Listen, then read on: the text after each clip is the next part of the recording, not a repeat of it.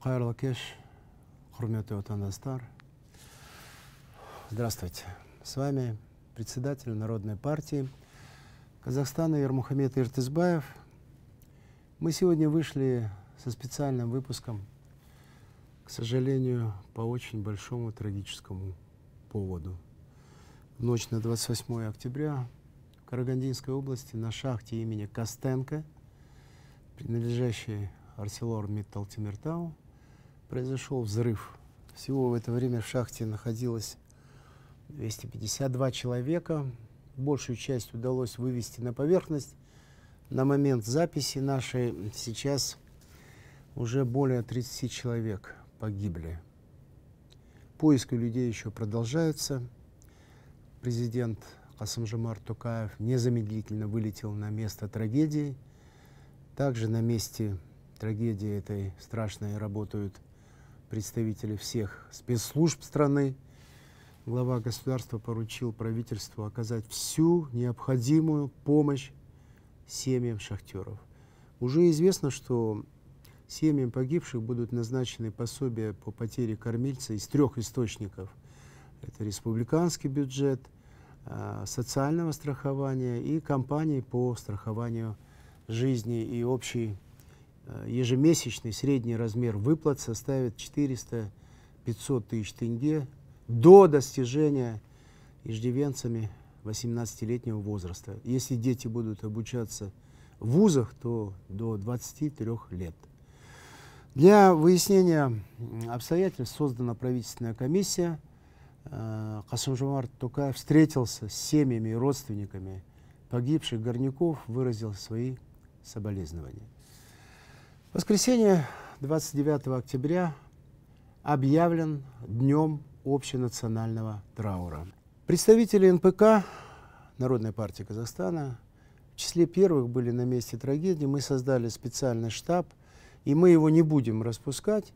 Народная партия Казахстана намерена держать э, руку на пульсе и быть готовыми оказать поддержку на своем уровне – я хочу выразить соболезнования семьям погибших шахтеров от себя лично и от лица всей нашей Народной партии Казахстана. Знаете, вот мы решили внепланово сегодня выйти в эфир, потому что ну, я просто не имею никакого морального права молчать и игнорировать случившееся, не только как политик, но как гражданин своей страны.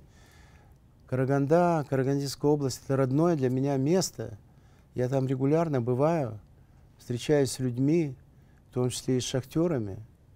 Вот в прошлом году я встречался с трудовыми коллективами, и среди них были и шахтеры шахты имени Костенко. Я вспоминаю нашу встречу, и сейчас с ужасом и горечью думаю, кто из тех людей, которые были на той встрече, остались живых.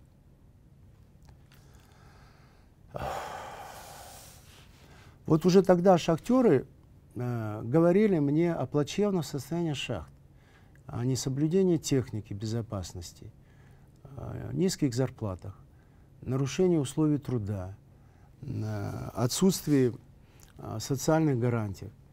Ветераны-шахтеры говорили мне, что э, ну, в шахтах экономят на безопасности.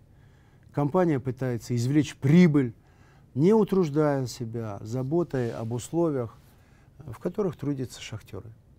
Еще в прошлом году мы открыто заявляли, что трагедии на Арсерло Миттал Тимиртау, они приобрели регулярный характер. Трагедии со смертельным исходом были в 2021, 2022 и в нынешнем году. По официальным вообще данным, за последние 15 лет на объектах Арселора да, погибло свыше 100 человек.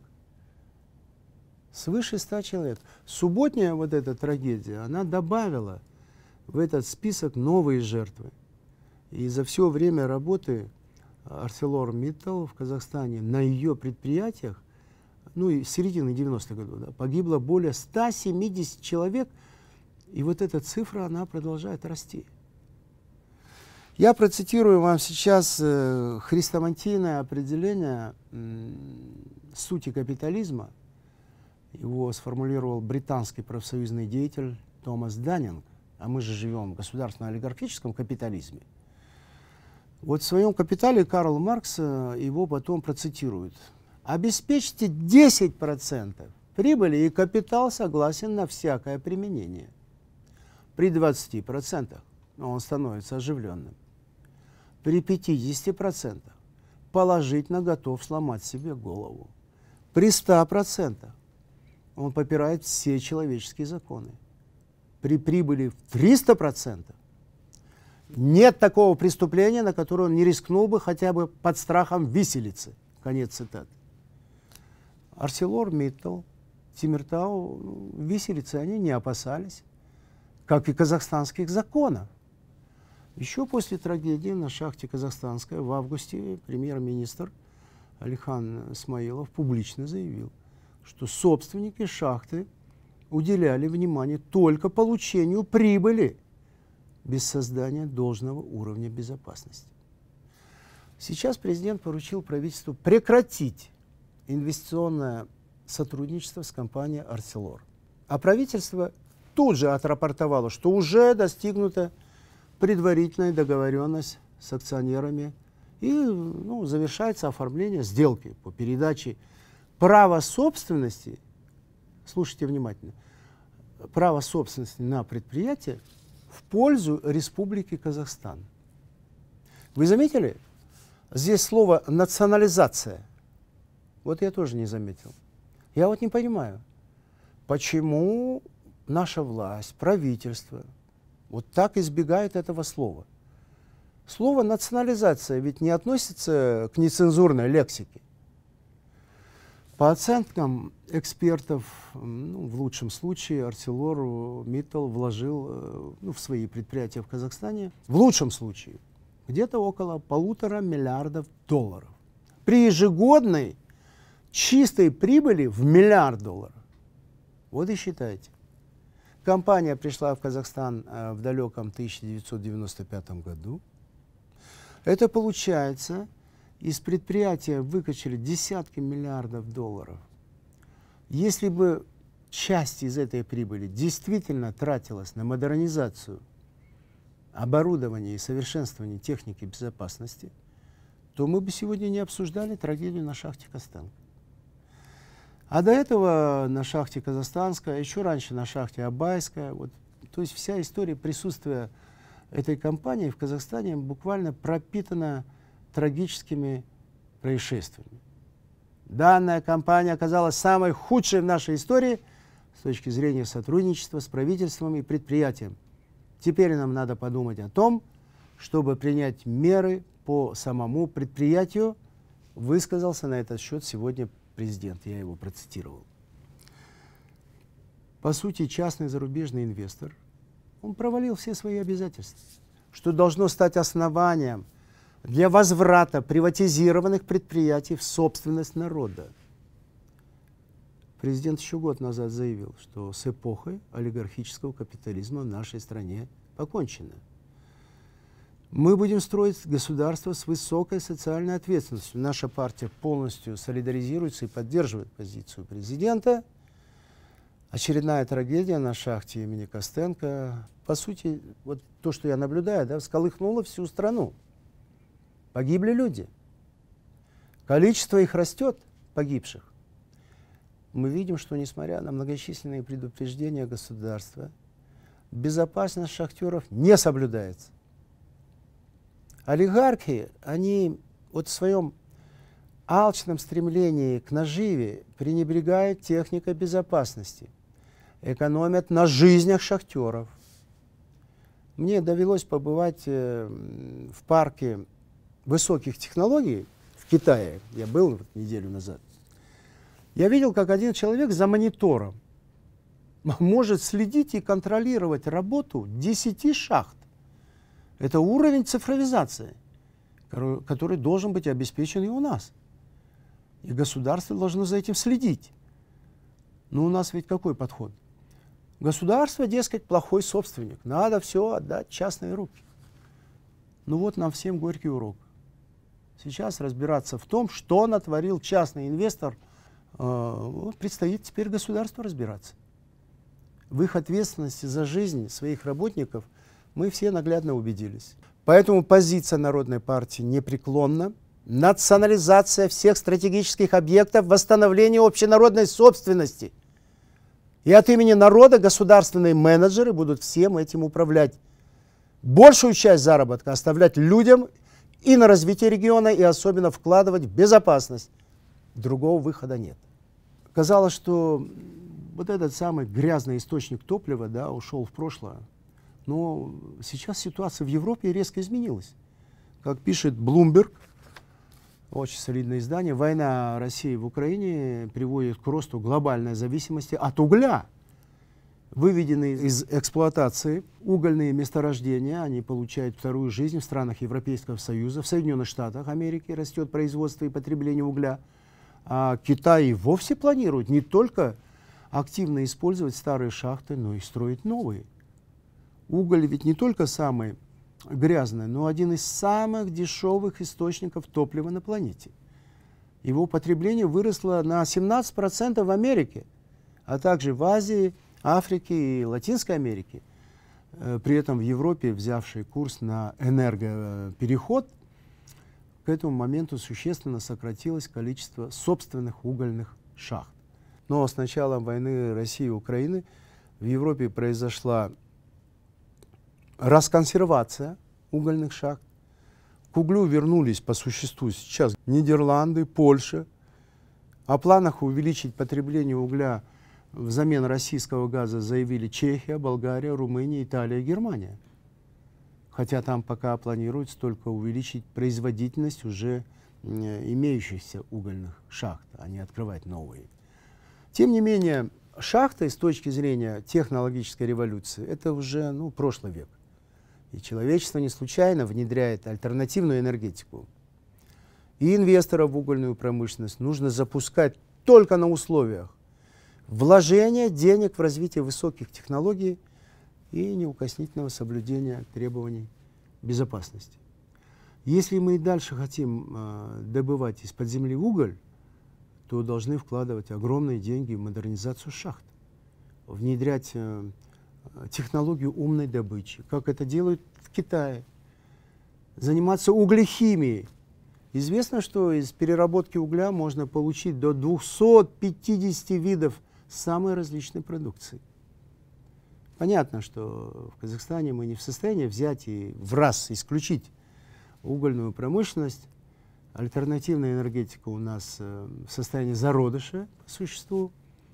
ТЭЦ отапливаются углем, а по поводу строительства атомной электростанции, ну, все время какие-то антинаучные бурления в социальных сетях. Премьер-министр э, Великобритании Маргарет Тэтчер, она была злейшим врагом для британских профсоюзов, особенно шахтерских профсоюзов. И в начале 80-х она позакрывала все шахты. Ей это стоило колоссальных трудов. Железная леди объявила шахтерам настоящую войну. Она считала, что шахты нерентабельны, э, ну и не без оснований. И вообще тормозят развитие британской экономики. И вот представьте, власти Британии впервые за 30 лет одобрили открытие новой угольной шахты. Да, а вот Арселор Миттал Тимиртау, кстати, контролируется британским миллиардером индийского происхождения Лакшми Митталом. Его компания получила крупные активы. Восемь шахт Карагандинского угольного бассейна, построенный в советский период знаменитый Карметкомбинат, горно-обогатительную фабрику и инфраструктурные объекты Тимиртау. А на приватизации в середине 90-х годов все это было сделано. Сумма сделки не разглашалась. Мы считаем, что итоги этой грабительской приватизации должны быть пересмотрены – и решение э, президента Токаева о приостановлении инвестиционного сотрудничества с компанией «Арселора» и передаче предприятия в собственность государства полностью соответствует предвыборной программе Народной партии Казахстана. Мы требуем возврата народу Казахстана имущества олигархов и незаконно приватизированных предприятий и организаций. Принципиальная позиция и решительные действия главы государства получают полную поддержку нашей партии в рассматриваемой теме сегодняшней. Отсутствие системного подхода в решении проблемных вопросов работников горно-металлургической отрасли будет и дальше приводить к дестабилизации социальной обстановки на предприятиях отрасли. Но такие проблемы есть не только в Карагандинской области. Вот неоднозначная, например, ситуация сложилась на месторождении Бестобе. 26 марта на встрече с профактивом и жителями поселка Бестобе Акмолинской области мы выслушали позицию всех сторон. Неопределенность в планах руководства компании создает нервозную обстановку в трудовом коллективе. У компании были планы снести весь поселок и добывать руду открытым способом. Для этого и была затоплена действующая шахта – Работники требуют восстановить вот эту Бестабинскую обогатительную фабрику и запустить рудник для подземной добычи руды. Тяжелая социальная экономическая ситуация затягивается, и с 1 июня 2021 э, года компания платила среднюю зарплату, а с 13 января 2022 года 50% средней заработной платы, да? А с 1 февраля работники численностью полторы тысячи человек получают, знаете, какую минимальную зарплату? 70 тысяч тенге. Общая численность жителей поселка около 6,5 тысяч человек. Многие работники в кредитах и ждут решения. 19 декабря 2022 года отраслевой профсоюз шахтеров и металлургов Казахметалл подписал меморандум о сотрудничестве Народной партией Казахстана. Партия выдвинула законопроект об изменениях в закон о профессиональных союзах. Пришло время для восстановления справедливости. И закон о профсоюзах, и трудовой кодекс должны защищать права трудящихся. НПК поддержала инициативу отраслевого профсоюза по снижению пенсионного возраста э, для работников, занятых на тяжелых работах и ну, работах с вредными и опасными условиями труда. Это была одна из наших предвыборных инициатив – во всех постсоветских странах для шахтеров сохранились сроки выхода на пенсию 50-55 лет. Во всех. Лишь в Казахстане отменены эти льготы. Горняки и металлурги за 25-30 лет работы в тяжелых условиях труда, э, ну, вдыхая вот эту рудничную пыль, э, углекислый газ – от подземной самоходной техники, подвергаясь, подвергаясь воздействием шума, вибрации, последствиям э, буровзрывных работ, перепадов температур. Они не могут продолжать работать с полной отдачей до выхода на пенсию в 63 года. И глава государства сегодня уже заявил, что сейчас рассматриваются новые подходы по выходу на пенсию шахтеров. Нельзя построить справедливый Казахстан без решительной смены курса государства. Народная партия Казахстана бороться за будущее нашего народа. Дорогие карагандинцы, Народная партия Казахстана еще раз выражает самое глубокое соболезнование семьям погибших. В наших рядах много шахтеров и металлургов. Мы не понаслышке знаем проблемы горнорудной отрасли. Нет слов, вот просто нет слов, чтобы, э, чтобы выразить всю горечь, все наше сочувствие моим землякам, шахтерам. Я не раз бывал на шахтах и знаю, что шахтерский труд – это не только техника безопасности, но и множество социальных проблем. Э, среди них выход на пенсию 50-55 лет для работников, занятых на тяжелых, опасных и вредных производствах, да? индексация там, заработной платы. Я вам даю слово, что мы вас один на один вот с этими проблемами не бросим, мы продолжим отстаивать ваши интересы. Силы терпения вам.